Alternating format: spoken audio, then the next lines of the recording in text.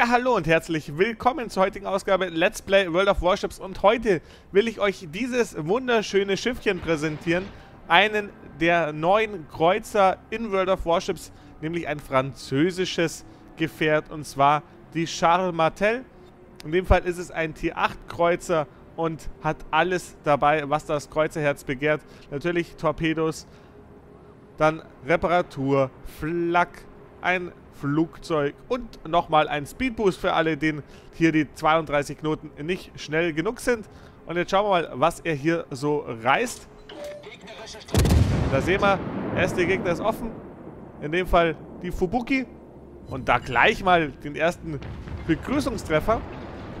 Eine Sache will ich euch vorwegnehmen. Ich weiß leider nicht, weil bei dem Replay gibt es nicht so viele Screenshots, wie ich eigentlich gern gehabt hätte. Aber ich wollte euch den Franzosen zeigen und die Runde verspricht Gutes. Deswegen, falls ich verschlafen sollte, eine Abmoderation zu machen, weil auf einmal die Runde doch plötzlich beendet ist, weil es ist einfach so bei den Replays, sobald die Runde beendet ist, beendet sich auch sofort das Spiel und damit auch sofort die Aufnahme, dann seht es mir nach, aber ich versuche natürlich darauf zu achten.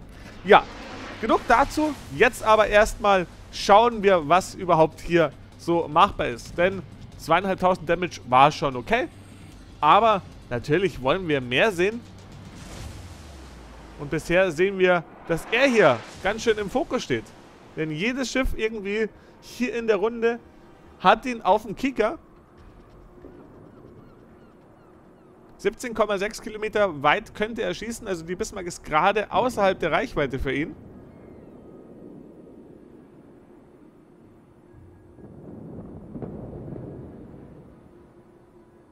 Die North Carolina, die kommt da jetzt aber rein und auch die Bismarck ist jetzt drin. Also jetzt kann er sie alle begrüßen. Wir sehen knapp 9 Sekunden Nachladezeit. Und die kommen ganz gut. Ja, die war nicht schlecht.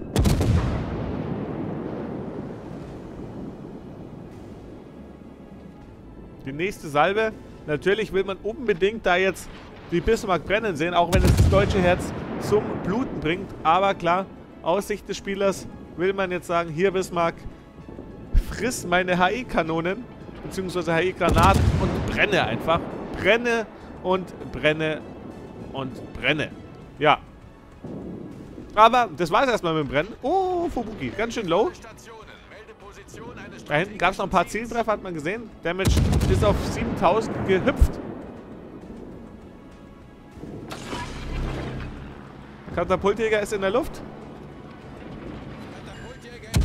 So. So, er ist hier ganz schön langsam gerade, um da die North Carolina so ein bisschen aus dem Konzept zu bringen. Und wir haben gesehen, hat funktioniert, denn die hat ordentlich davor geholzt. Und jetzt hat er sie endlich auch angezündet. Tickt immer für 400. Ist jetzt nicht das dickste, aber nimmt man gerne mit. Und deswegen jetzt... Oder der zweite Brand. Das ist natürlich jetzt schon unangenehmer. Weil jetzt sehen wir plötzlich das Doppelte, knapp 800er Ticks. Und das merkt man in der North Carolina schon gut. Jetzt zündet er auch die Bismarck direkt noch an.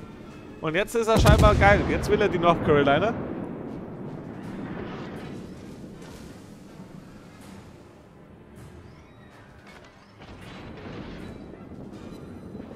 Die brennt jetzt lichterloh. Und durch diese Brandschäden, die er da jetzt alleine verteilt hat, sehen wir jedes Mal 1200 Damage, die er dafür, dafür bekommt. Also das ist natürlich sensationell. Zündet man zwei Schlachtschiffe an mit drei Brandherden und da der nächste, den Nagato auch gleich nochmal. So, jetzt ist aber nur noch die Nagato am Brennen. Alle anderen haben kein Feuer mehr, deswegen jetzt hier wieder hier so um die 400er Ticks. So, die Salve dürfte noch ankommen gerade so über die Wipfel gezogen. Jo, die kamen auch noch an, zumindest ein paar. Manche sind aber auch schon in die Insel gegangen, hat man gerade noch so am Bildrand sehen können.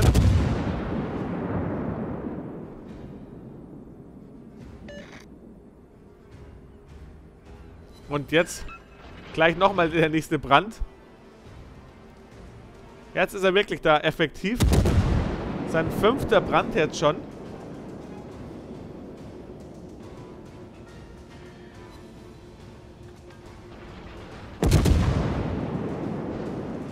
Ich kann euch schon mal ein wenig spoilern. Wir werden auch noch die Torpedos hier im Spiel sehen, weil auch das ist ja immer so interessant zu sehen, was können denn die Torpedos noch so reißen.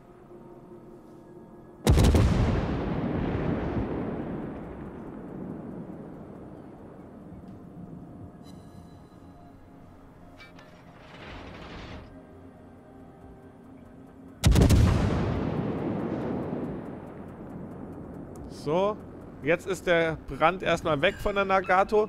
Die wird sich eigentlich schon freuen und sagen, ah, endlich kein Brand mehr. Aber er ist da weiterhin dabei und will sie brennen sehen.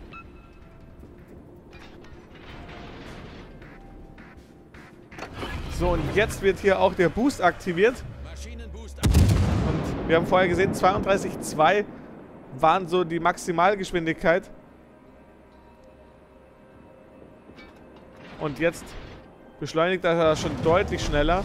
Natürlich hier, sobald er da abdreht, klar, reduziert sich die Geschwindigkeit nicht, wenn man geradeaus fährt. Das ist ja vollkommen normal. Aber wir sehen, da beschleunigt das Ding ganz gut. Knapp 34 und weiter beschleunigen 35 Knoten. Also da hat man jetzt schon wirklich ein ganz schön schnelles Ding. 37 Knoten und 38 fallen auch noch. Nagato gleich nochmal der nächste Treffer. Jetzt bremst er hier gerade ab, weil er natürlich noch weiter auf den Nagato schießen will.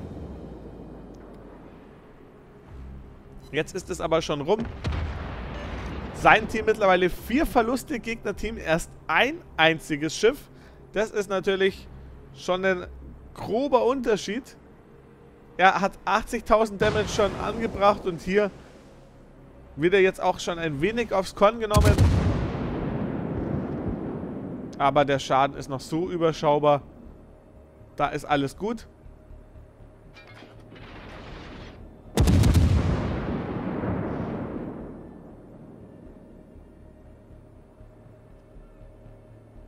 So, und wir sehen 38 fünf Knoten und sogar immer noch beschleunigend.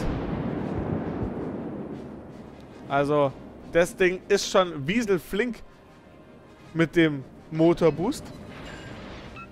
Nagato weiterhin sein Ziel. Aber jetzt denkt er sich, naja, ein bisschen Abwechslung muss auch mal sein. Deswegen gehen die Grüße jetzt an die North Carolina raus. Und die zündet er dann auch wieder an. Da langt es mit der ersten Salve. Die hat aber diesmal sofort das Ganze gelöscht. Und da ist eine Algerie.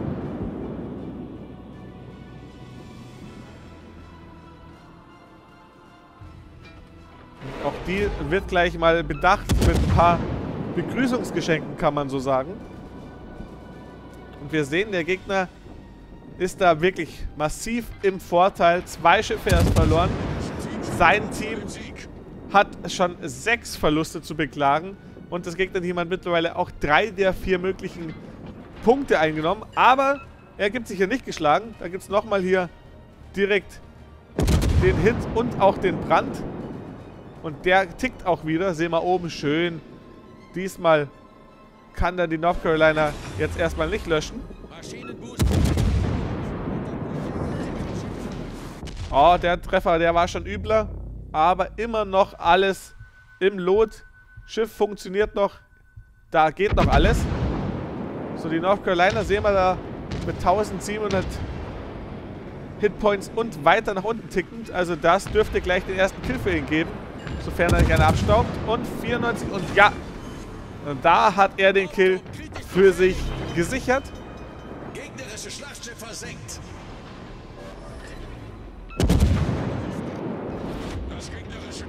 Kurz vor dem Sieg.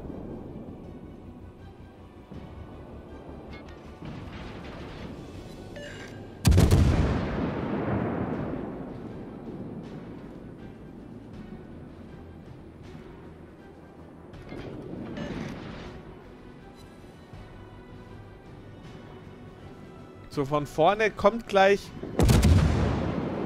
jemand auf seinen Cap.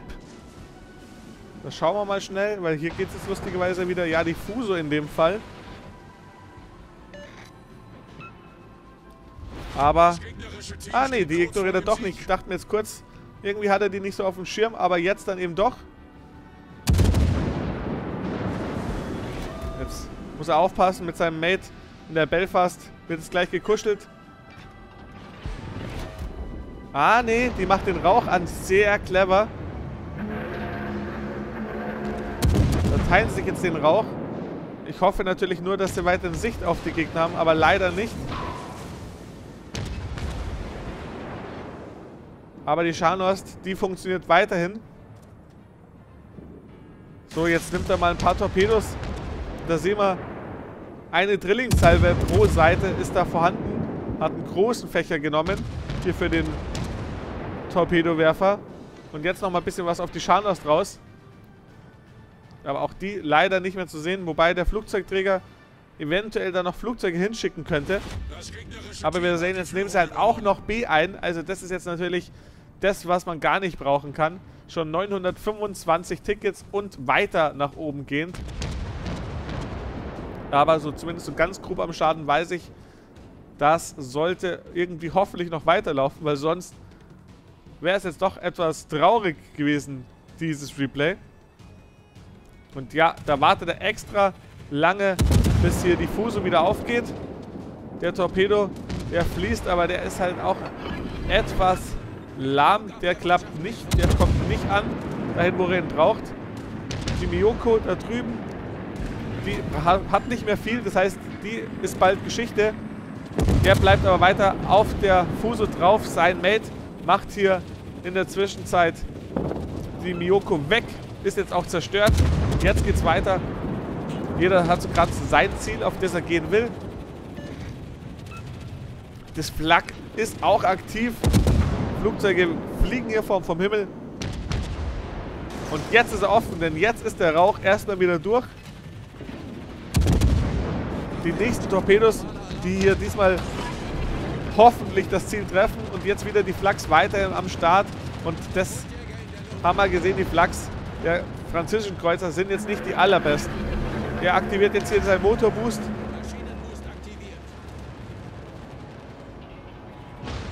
So, jetzt hat er hier seine Belfast ein bisschen als Schutzschild. Wobei das natürlich nicht geplant war. Ist für, für beide nicht so wirklich von Vorteil. So, jetzt kann er auch wieder schießen. Denn jetzt hat er nicht mehr die Gefahr, dass er seinen Mate trifft. Und gleich zwei Brände jetzt auf die Fuso. Und da trifft die Fuso aber verdammt gut. Aber die Torpedos, die kommen auch schön ins Ziel. Da treffen zwei Stück. Sehr schön. Zwei Zieltreffer. Und holt sich hier den Vernichter. Und da sehen wir jetzt oben 152.000 auf der Damage-Uhr und weiter tickend. Und jetzt sind es auch plötzlich nur noch zwei Schiffe. Also das hat sich verdammt gedreht, das Thema. Schießt jetzt hier auch HP auf die Scharners drauf. Und auch die Torpedos kommen gut. Die kommen sehr gut. Ja, auch hier nochmal zwei Treffer für 21.000 Schaden. Und jetzt hat die Scharners da massive Probleme. Hat so gut ausgesehen und plötzlich dreht sich halt sowas. Und er macht hier auch den Kill klar. Jetzt ist einzig und allein noch die Lexington am Start.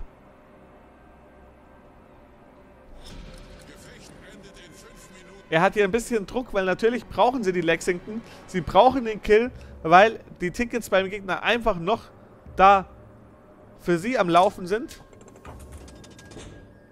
Jetzt geben wir mal hier ein bisschen Gas. Drei Minuten und da ist die Lexington.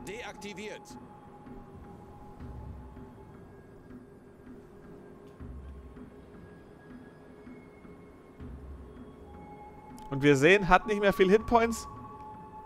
Ich bin mir auch recht sicher, das dauert hier nicht mehr allzu lang. Allerdings hat die Lexington gerade noch den Vorteil, dass er sich für ihn hier hinter der Insel befindet.